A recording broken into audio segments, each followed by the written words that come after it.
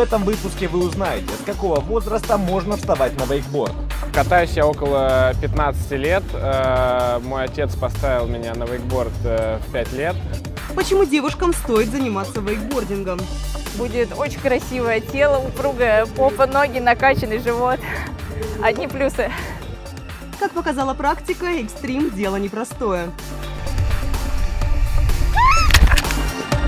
Ведущие программы Sport Life провели выходные на самом экстремальном фестивале Севастополя.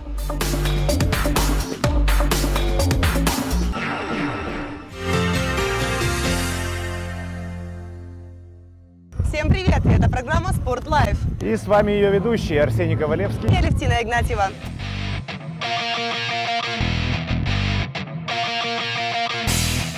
Лето, солнце, жара, девушки в купальниках. Однако пляжный сезон не время забывать и о спорте. Тем более, когда в Севастополе проходит фестиваль экстремальных видов спорта «Эксфест». Как вы понимаете, мы не пропустили отличную возможность и отправились прямиком на набережную Корнилова, главную площадку фестиваля.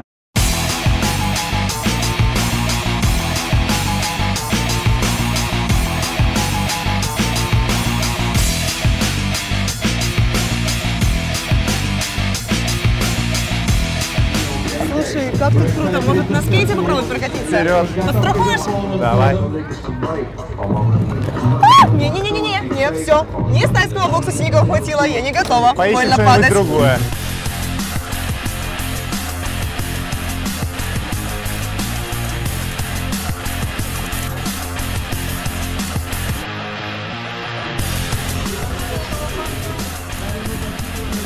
Ну, или на самокате покататься. Ну давай.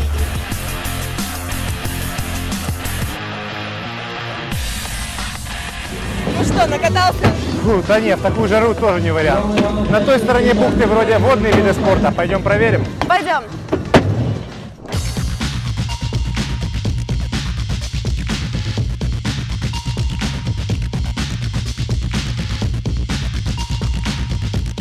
О, а это еще что такое? Я что-то слышала об этом, правда, не помню, как называется. По-моему, какой-то бординг. Ладно.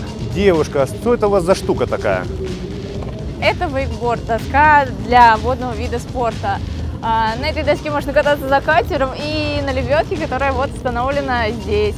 А, Экстремальный вид спорта, но в принципе на него могут стать и а, самые неопытные. Точно, вейкбординг.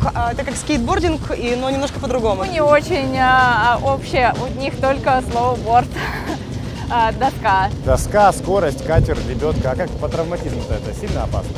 Это не, не очень опасно. А, Главное разминаться и разогреть мышцы перед а, тренировкой.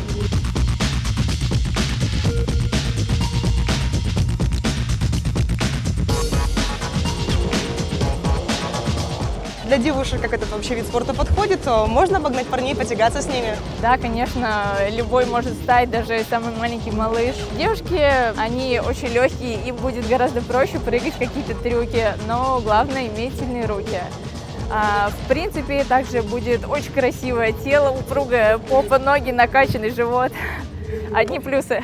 Ну что, собственно, вам рассказывать так долго? Пойдемте покажу, как это происходит.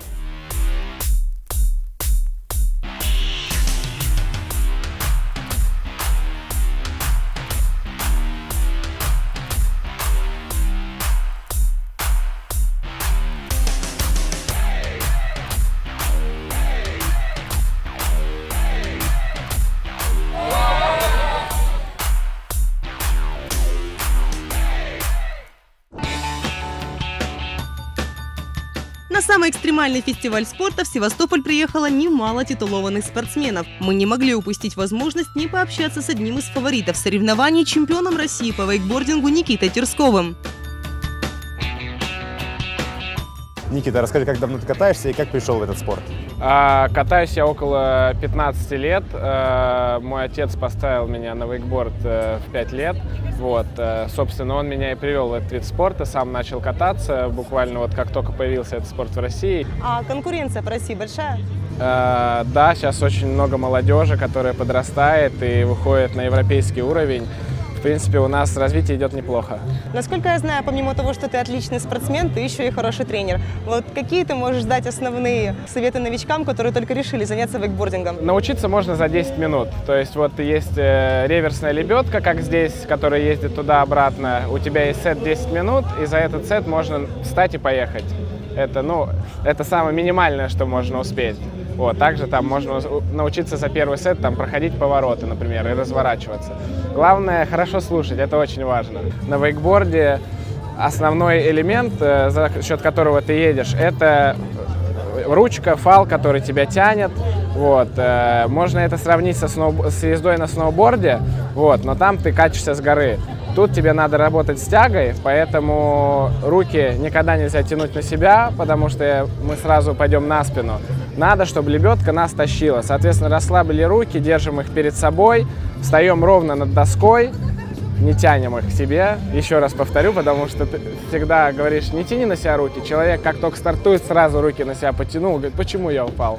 Чтобы спокойно ехать прямо, вам надо встать ровно над доской, то есть не давить ни на нос, ни на передний кант, ни на задний. Встаем ровно над доской, чуть согнули ноги, руки держим чуть-чуть или чуть-чуть согнутые, либо совсем прямые, и все, и мы уже едем. Отлично, сейчас тогда мы это и проверим. Рассказ участников Эксфеста заинтересовал нас. Но пока выступать на чемпионате нам не светит, мы выбрали уединенный вейк-парк, где и смогли бы отработать пару-тройку движений. А поставить нас на доску наш тренер Богдан Прокопчук. Добрый день. Привет. Ну что, ребят, готовы покататься? Конечно, готовы. По вам не видно. Думаю, нужно переодеться. Для того, чтобы начать заниматься вейкбордингом, вам потребуется экипировка. Ее можно взять на прокат или купить самостоятельно. Стоимость всего снаряжения примерно такова. Доска для вейкбординга стоит от 15 тысяч рублей, крепление для ног около 10 тысяч рублей, шлем полторы тысячи, спасательный жилет 3 500. Ну что, мы готовы? Вперед в воду? Нет, ребят, прежде чем лезть в воду, нужно сначала немножко понять, как будет, будете себя чувствовать в борде. Для этого есть специальное приспособление балансборд. Это первая стадия любого начинающего вейкера. Для того, чтобы перед тем, как лезть в воду, нужно хотя бы немножко научиться пользоваться им. В чем основная суть? Удержать баланс.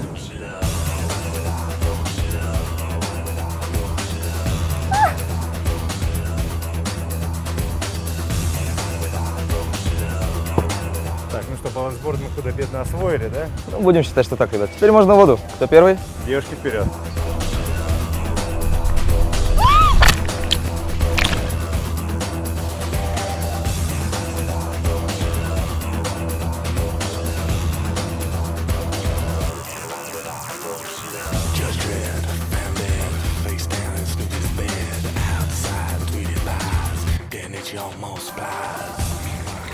Ни говорил, вейкборд – это круто, весело и интересно, даже если вначале у вас ничего не получается. Ну что, Арсений, настало твое время. Готов.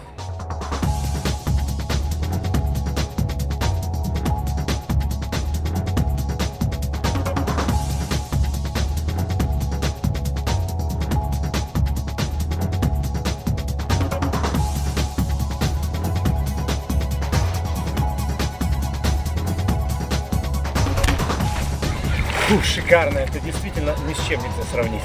Даже для первого раза вроде ничего так получилось.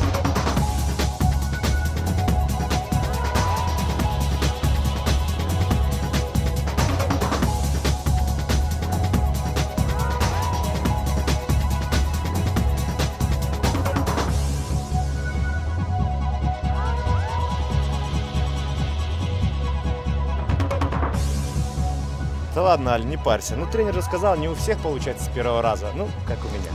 В любом случае, даже если ничего не получилось, это было очень весело. А с вами, друзья, увидимся в следующий раз. Пока-пока!